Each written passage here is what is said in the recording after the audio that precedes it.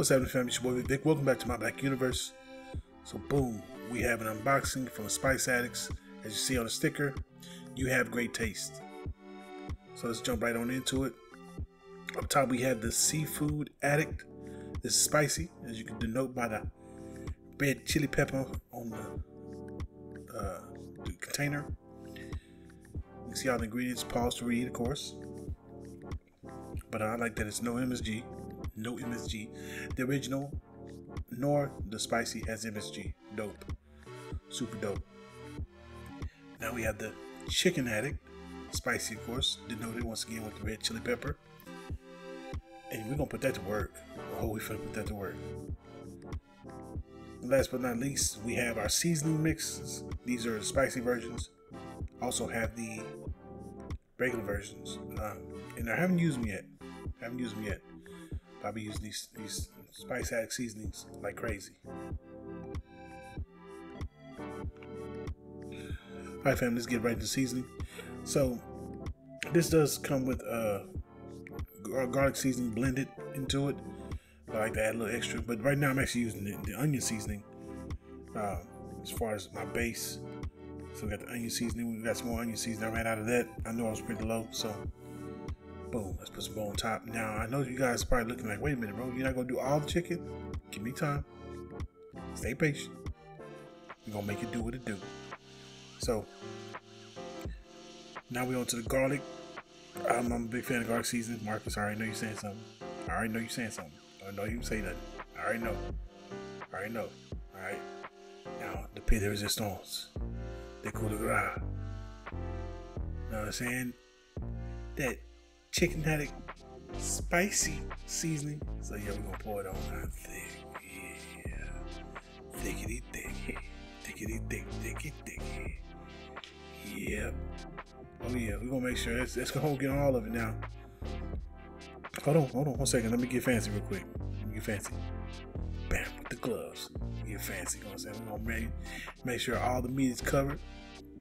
Technically, I didn't need to do this. Really. And you're gonna see why in a second. I'm, gonna add a little extra, you know, a little special little little razzle dazzle, you know what I'm saying? To give it that extra. But you know, we make sure we get we covering every piece. Now it's time for me to get the razzle dazzle. So just be patient. And it makes sense. For those who barbecue, this probably makes more sense to you. What I'm about to do. That Grüner. So Grüner is German beer. I tried this one time on some uh some chicken thigh meat, some chicken leg meat. It was like the whole it's the leg meat and the thigh meat. So I've done it before and I had amazing results. It was just unique flavor using the air fryer. Now I'm pretty sure if I was using a smoker, it'd be a lot better. Now we're gonna let this marinate for tres horas.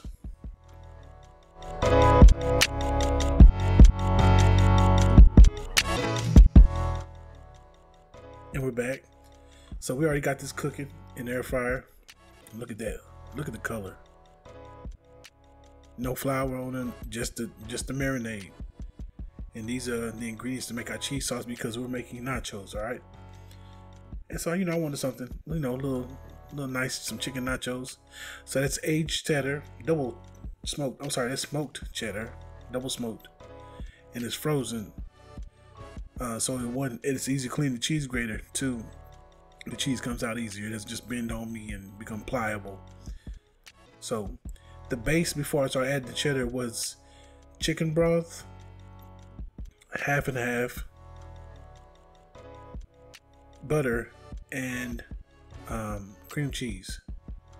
That was the base. And then we added the double, a the double smoked cheddar, and I also have white cheddar. So we added both of those. I have a little bit of flour in the background just to kind of thicken it up. But yeah, yeah, we we, we did our thing. So we we did the grating. I know some people say, "Oh, you get it shredded already." They got put like little, I think like potato starch or something on there so it can doesn't clump up. I didn't want that in my cheese, so we did it from a full cheese block. Put the cheese blocks back in the freezer. Guess he put in at work. Yeah, putting in at work. Stir it. And the heat was medium. It was like medium, medium high. Nothing too crazy. Um, I did bring it up to a boil later on. Cause you know I'm had some I gotta have some more of that spicy seasoning. You know, nobody wants some bland cheese sauce, so I do a little something, something. Check my consistency. And so um, what I did is I did add some little bit flour, which helped to get the right consistency, and that's that's the look of it. So now we're gonna cut these vegetables up, cause you know what's nachos without a little bit of color, you know. Sweet peppers, um, but I couldn't, so I was like, you know what these will do: red bell pepper and uh, orange bell pepper. Cut them up to nice pieces.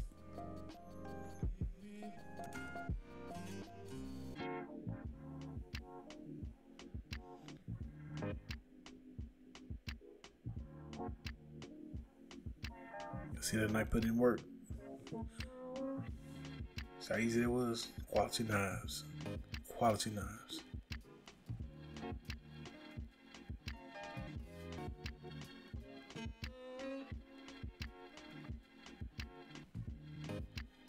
Now back to put in work. So I was going to have some company. I thought I was going to have a ton of company over, and um, people changed plans some do because they had to. Others they got sick. You know what I'm saying? Shout out to Mark One and his family. They're better now.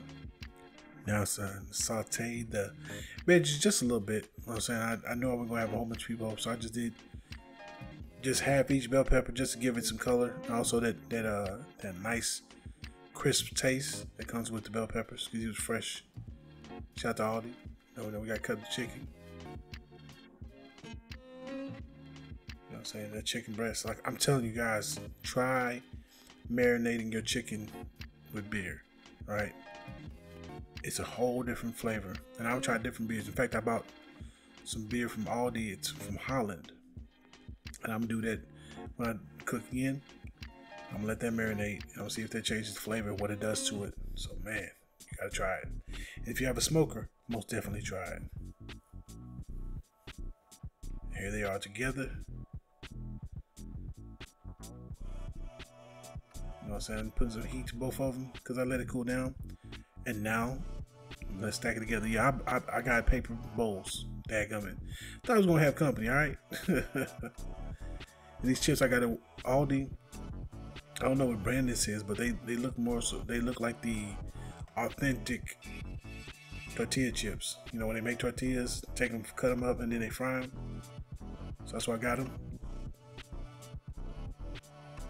Plus, I was gonna wash no dishes. It's fight night. Who wanna wash dishes after a fight? Come on now. Yeah, that's I'm, I'm still cooking, so don't me, don't mind that mess in the kitchen. I'm still cooking slash eating. All right. So here we go. Yeah.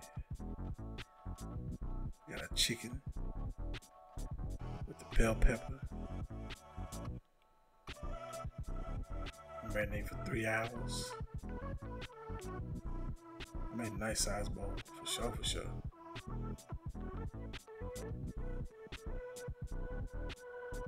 Now let's get that cheese sauce. Oh. Oh. At that fatty goodness.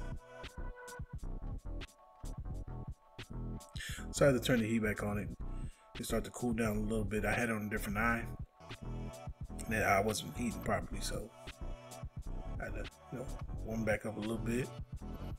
I want to cook per se, but you don't want no cold cheese sauce on your your nachos. See that big old clump of cheese that has to melt back down.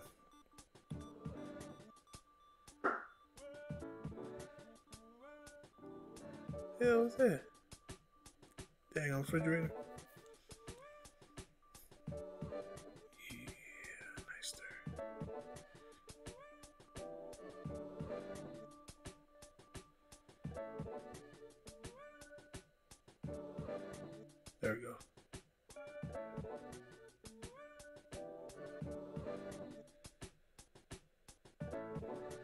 Yeah, that's appropriate for a fight night. What's going on, family? It's your Big. So you guys saw me make these nachos, uh, make the cheese sauce and everything like that. And of course, the star of the show was the spicy chicken seasoning from Spice Addicts. So I know I look dressed down. I know I'm looking kind of bummy off. Actually, can go work on a vehicle right now. I had to get some grub for me real quick, man. And look, let me just say this: I'm glad I made these nachos for the Errol Spence Jr. fight.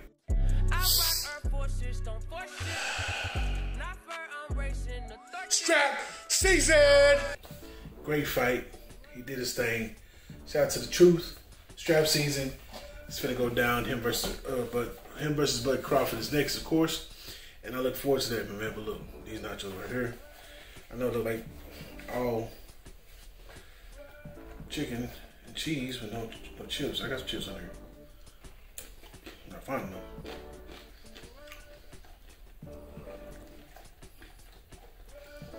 That spicy seasoning is the truth, so I'm calling these nachos. Truth. After all, Smith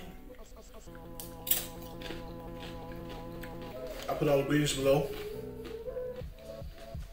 Thank you for watching this video.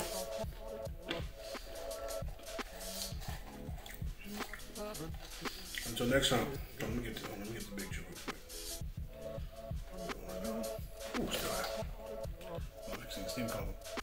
Yeah, yeah, yeah. Mm.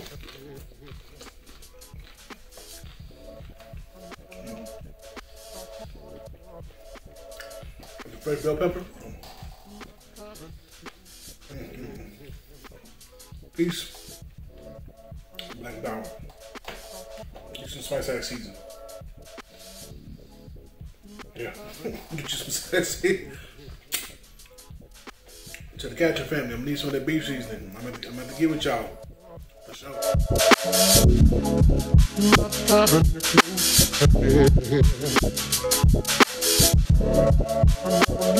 sure.